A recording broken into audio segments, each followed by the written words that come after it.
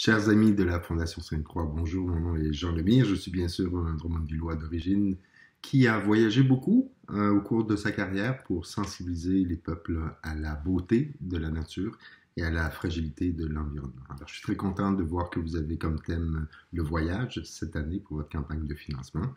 Euh, vous savez, euh, nous traversons une drôle de période. La pandémie a certainement amené un lien concret, direct entre l'environnement et, euh, et les humains. Euh, je pense qu'on a tiré une bonne leçon de tout ça.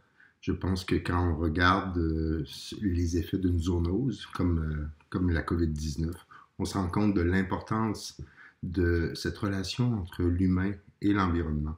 Et donc, j'aimerais qu'on réfléchisse à cela davantage ensemble lors de nos prochains voyages, de toujours faire en sorte qu'on respecte cette nature, puisque les zoonoses sont responsables euh, des, maladies chez les humains, euh, les maladies virales, jusqu'à 75% Alors, euh, on voit bien ce lien concret entre la nature et les humains. Alors, bonne campagne de financement Fondation Sainte-Croix. Vous savez, j'ai commencé ma carrière, mon premier job était comme préposé à l'hôpital Sainte-Croix. Alors, je garde en mémoire de très, très bons souvenirs.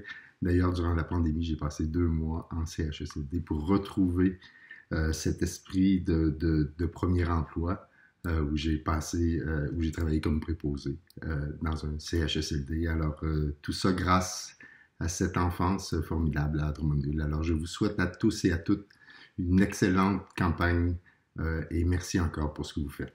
À bientôt.